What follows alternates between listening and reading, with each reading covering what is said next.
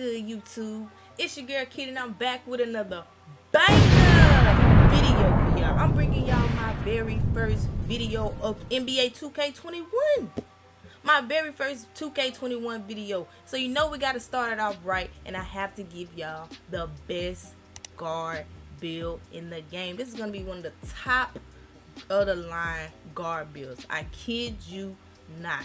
All right. Now, before we get into all that, you see my social medias at the bottom of the screen. You see the sub count at the top. We gotta run them numbers up. So if you are new to the channel, you gotta hit that sub button and you gotta turn on those post notifications and you gotta leave a big fat like on this video. But make sure you follow me on all of my social medias. Alright, you see them at the bottom of the screen just so you can stay connected with me. And you gotta make sure you follow me on Twitch. I live stream on Twitch at it's kid underscore. If you ever want a chance to run with me, you just want to kick it with me in the live stream, you gotta be following me on Twitch and you gotta be active in the chat, man. Alright? So without further ado, let's get right into this video. Alright, so we are about to create the best playmaking shot creator in NBA 2K21. Alright, first thing first, of course, we're gonna make it a point guard and then you can make your player left or right handed it's really up to you. You can choose whichever jersey number that you would like. Okay so as far as these pie charts 2k tried to be a little slick. They tried to add in some new pie charts. So be very aware that we do have a few new pie charts all right? So be careful when you're picking your pie charts. And if you're trying to make the exact same build as you try as you had in 2k20 eh, bad news. They kind of tweaked and nerfed the attributes, so you probably won't be able to make your build the exact same as you had in 2K20, but you could probably make it fairly close. All right, so for the pie chart that we're going to use for this play shot, it's this one right here. This is one of the new pie charts. All right, this is one of the new pie charts. As you can see, it has a little bit more shooting than playmaking. All right, that's one of the new pie charts. That's what we're going to go with for this build. For the physical profile, we're to choose the chart with the most speed. That's the very that's the first one. And as far as these attributes, pay very close attention to what I upgrade and what I don't upgrade, okay? So, for the close shot, we're to go with a 75.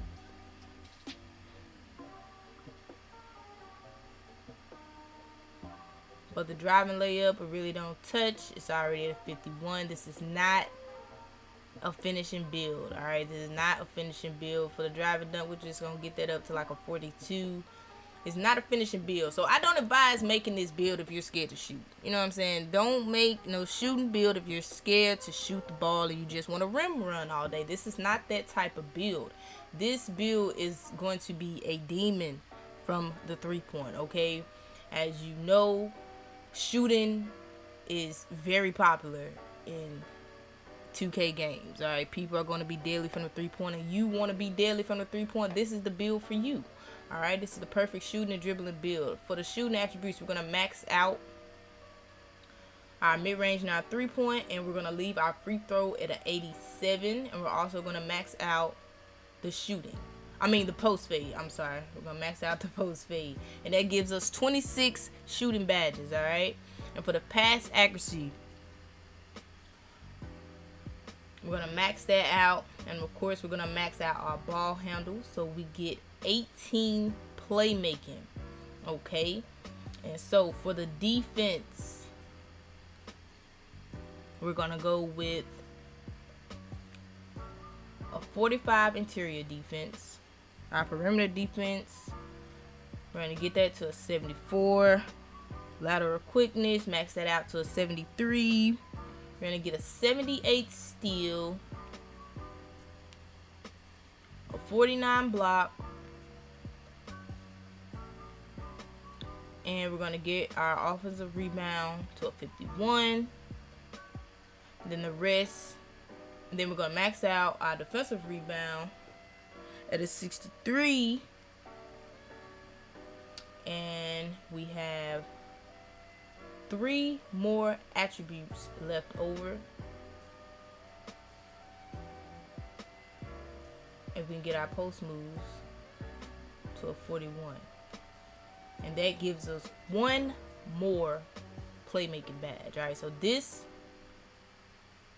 is what our badge setup setup looks like for this playmaking shot creator. We got one finishing badge, 26 shooting, 19 playmaking, and eight defensive badges. That's scary right there. That's already scary. All right. So for the body shape, they got pretty much the same body shapes. Uh, for this build, I'll probably just go with solid. Now for the height. This is where things get interesting. Default height this year 6'3". The max height you can go on point guards this year 6'8". But we're not gonna we're not getting too crazy right off the bat. We're not getting too crazy here, okay? So for the height, we're gonna go with 6'5". 6'5 is a decent, safe height. You don't want to be too short. Don't want to be too tall. And for the weight, we're gonna go ahead and lower our weight all the way down.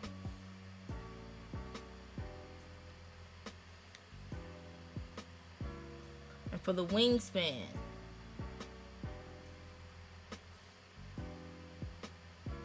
you can either lower your wingspan all the way. If you, of course, you know if you max out your wingspan this year, this year is something different. If you increase your wingspan, that helps, that boosts up your driving, that boosts up your finishing uh, abilities. That that that's something new. That didn't, it didn't used to do that in 2K20, but you know, still affects your your shooting and your ball handle, but it also helps with your defense. All right, so for the wingspan, I believe we're gonna leave it right here. It's 79.7. .7. 79.7. That looks good. So remember, we have one finishing badge, 26 shooting, 19 playmaking, 8 defensive badges at 6'5", 79.7 wingspan, and we also get the 87 speed and the 86 acceleration. Now this is just off rip. If you consider the fact that if 2K still gives you the plus 4 attributes at 99 overall. At 99 overall, this build will be able to speed boost. You'll get that 86 ball control. You get that 86 ball handle. And whoo wee. That's going to be something serious there. Now, here are the takeovers. You could choose between the sharpshooter takeover, the shot creator takeover, and if you like, the playmaking takeover. Course, you get to choose to play, make a takeover if once you're in takeover, you like to drop people on the ground. You're trying to break you some ankles, get you those highlight clips, then go for the playmaking. For the shot creator, you know, if you do a lot of spin shots or you can still break people's ankles off of shot creator moves and things like that, you still get a little boost to your shooting. And if you're trying to be a sniper from the three point, hit those crazy shots and get those jump shot celebrations unlocked, choose the sharpshooter takeover. But that is pretty much it for today's video. I hope you guys enjoyed it. That is the play shot creator build and if you are new to the channel make sure you hit that subscribe button. Don't forget to turn on those notifications. Make sure you leave a like comment down below. Let me know your thoughts of the 2k21 demo. Let me know of your expectations for 2k21 or what builds you guys are thinking about making. But like i said that's pretty much it for today's video. I hope you guys enjoyed it. It's been real. I'm out